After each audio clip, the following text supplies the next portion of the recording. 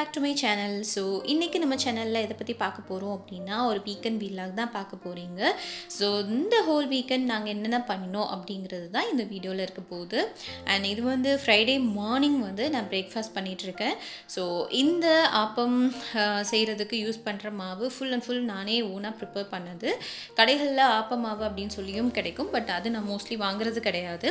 உங்களுக்கு இந்த ஆப்பம் நான் எப்படி செய்கிறேன் அப்படின்னு தெரிஞ்சுக்கணும்னு நினச்சிங்க அப்படின்னா எனக்கு கமெண்ட் பண்ணுங்கள் கண்டிப்பாக நெக்ஸ்ட் ஒரு வீடியோவில் நான் வந்து இதை எப்படி ப்ரிப்பேர் பண்ணுறேன் அப்படிங்கிறத உங்கள் கூட நான் ஷேர் பண்ணுறேன்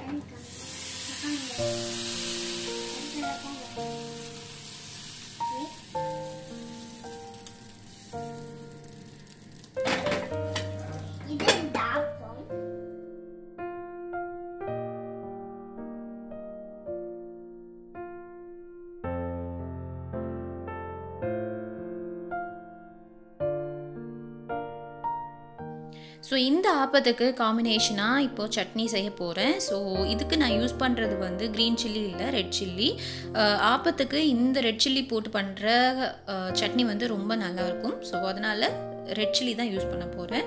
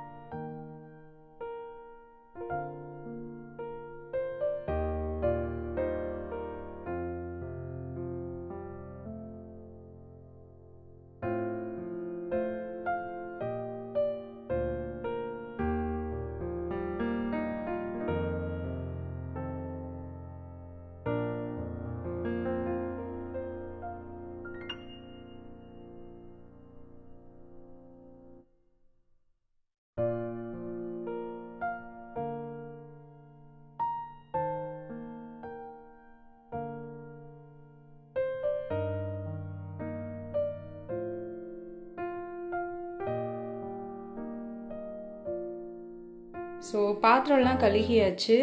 இப்போ கிச்சன் எப்படி இருக்குன்னு பாருங்கள்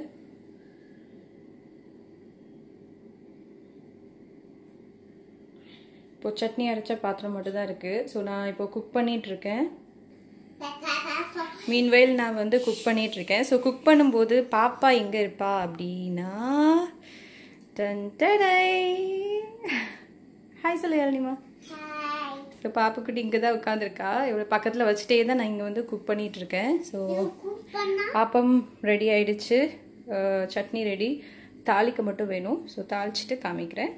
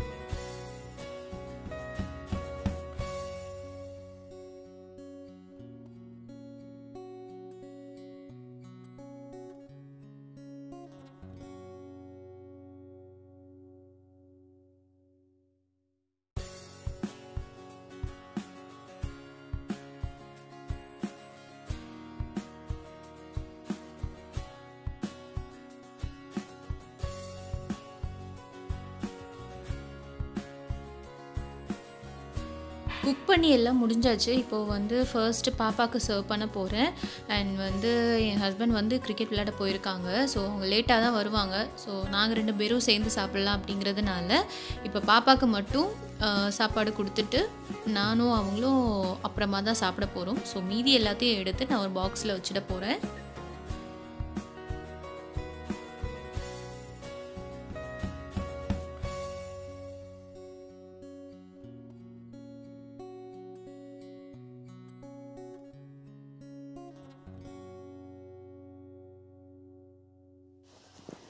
கடைசியாக இருந்த மாவு எல்லாத்தையும் ஊற்றி அப்பம் சுட்டு கடைசியாக சுட்டுட்ருக்கேன்.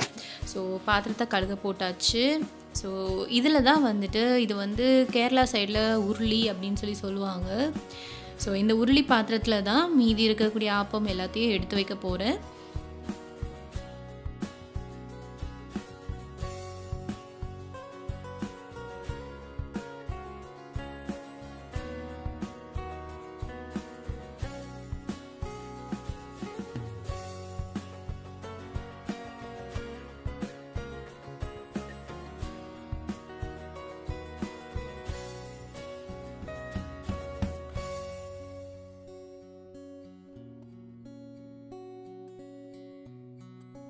ஸோ சாப்பிடும்போது குடிக்கிறதுக்காக சுடுதண்ணீர் ரெடி பண்ணிகிட்ருக்கேன் வீட்டில் நாங்கள் எல்லாருமே வந்து ஜீரக தண்ணி தான் குடிப்போம் ரெகுலராக ஸோ இப்போ நம்ம வந்து கெட்டிலில் நீங்கள் இந்த மாதிரி ஈஸியாக கொஞ்சமாக ஜீரகம் போட்டு உடனே ப்ரிப்பேர் பண்ணிடலாம். பட் என்ன அப்படின்னா நீங்கள் கம்பல்சரியாக நீங்கள் எவ்வளோ ஜீரக தண்ணி ப்ரிப்பேர் பண்ணுறீங்களோ அது எல்லாத்தையும் அந்த ஒரு நாளைக்குள்ளே முடிச்சிடணும். நீங்கள் வந்து செகண்ட் டே அதை வச்சுருந்தீங்க அப்படின்னா அது ஒரு மாதிரி ஸ்மெல் அடிக்க ஆரம்பிச்சிடும். அண்ட் வந்து ஜீரக தண்ணியை நான் கெட்டலில் ப்ரிப்பேர் பண்ணுறதுனால அடிக்கடி இதை நான் வாஷ் பண்ணுறேன் இன்கேஸ் நம்ம வந்து நார்மல் ஹாட் வாட்டர் மட்டுமே ப்ரிப்பேர் பண்ணுறதுக்காக இதை வச்சுருந்தோம் அப்படின்னா சீக்கிரத்தில் நம்ம அதை வந்து வாஷ் பண்ண மாட்டோம். பட் வந்து ஜீரக தண்ணியை யூஸ் பண்ணுறதுனால நான் வந்து கண் கம்பல்சரியாக டெய்லி நான் இதை வாஷ் பண்ணிடுறேன். அதனால் எனக்கு அது நீட்டாகவும் இருக்குது. Uh, அண்ட் வந்து நீங்கள் சுடுதண்ணி குடிச்சிங்க அப்படின்னா உங்களுக்கு வெயிட் லாஸ்க்கு ரொம்பவே ஹெல்ப் பண்ணும். ஜீரக தண்ணியில் ஹாட் uh, வாட்டராட்டு இருக்க பட்சத்தில் வந்து இன்னுமே வந்து உங்களுக்கு ரொம்பவே ஹெல்ப் பண்ணும். Uh, ஸோ இது நான் வந்து உங்கள் கூட ஷேர் பண்ணணும்னு நினச்சேன். ஆல்ரெடி நான் ஒரு ஷாப்பிங் ஹால் வீடியோவில் இந்த டிவைஸை பற்றி நான் சொல்லியிருப்பேன். இது ரொம்பவே எனக்கு யூஸ்ஃபுல்லாக இருக்குது ரொம்பவே கம்மியான ப்ரைஸ் தான். இதை வச்சு நீங்கள் இது பேட்ரி போட்டோம் ஆக்சுவலி ஸோ பேட்ரி போட்டு நீங்கள் வந்து ஆன் இந்த பக்கத்தில் ஒரு கீழே ஒரு சுவிட்ச் இருக்குல்ல ஸோ அதை ஆன் பண்ணும்போது இந்த பிளாக் கலரில் ஒரு சுவிட்ச் இருக்குல்ல ஸோ இதை ஆன் பண்ணும்போது அது உள்ளே வந்து ஒரு ஸ்டோன் ரெண்டு ஸ்டோன் இருக்கும். ஸோ அது வந்து ரொட்டேட் ஆகுறதுனால உங்களுக்கு வந்து நைஃப்லாம் நல்லா ஷார்ப்பன் பண்ணும். ரொம்ப ஷார்ப் பண்ணும். ரொம்ப பர்ஃபெக்டாக ஷார்ப் ஷார்ப் ஆகும் இது. ஸோ என் ஹஸ்பண்ட் வந்துட்டாங்க சாப்பிட்டுட்டு கடற்கரைன்னு கிளம்பிட்டோம். இப்போ எங்கே போயிட்டுருக்கோம் அப்படின்னா ஒரு ப்ரோக்ராம்க்கு போயிட்டுருக்கோம். இது வந்து எங்கே நடக்குது அப்படின்னா துபாய் ஃபெஸ்டிவல் சிட்டியில் நடக்குது. ஸோ அங்கே வந்து ஒரு ஸ்கூலில் இந்த ப்ரோக்ராம் வந்து ஆர்கனைஸ் பண்ணியிருக்காங்க. ஸோ அதுக்கு தான் இப்போ எல்லோரும் போயிட்டுருக்கோம். என்ன ப்ரோக்ராம் அப்படின்னு பார்த்தீங்கன்னா இயற்கை நல்வாழ்வியல் பயிற்சி அப்படின்னு சொல்லிட்டு.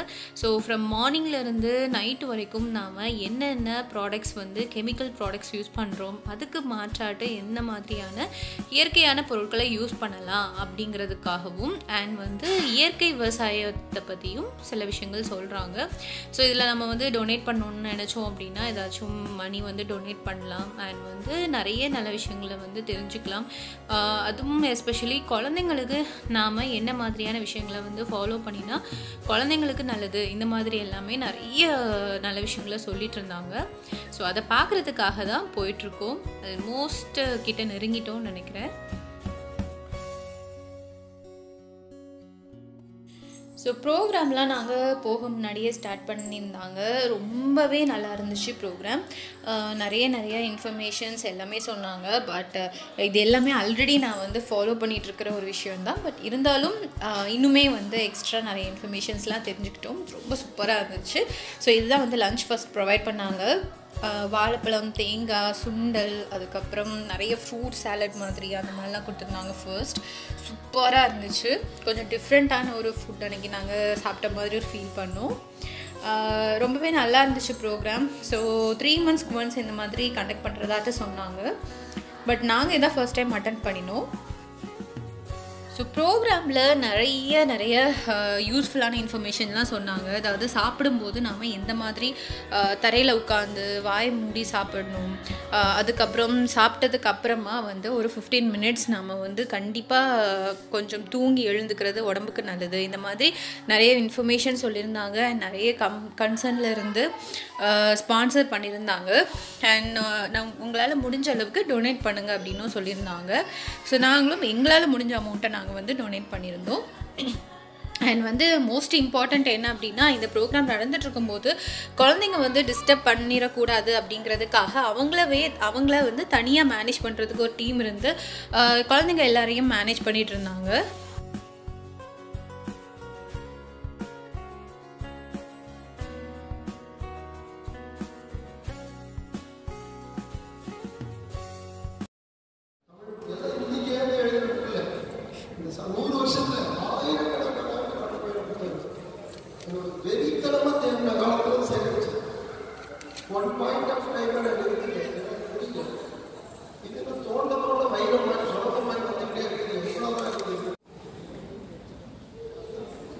ஃபோட்டோ எடுத்துக்கலாம்ல அதில் இந்த வீடியோ எடுக்கிறேன்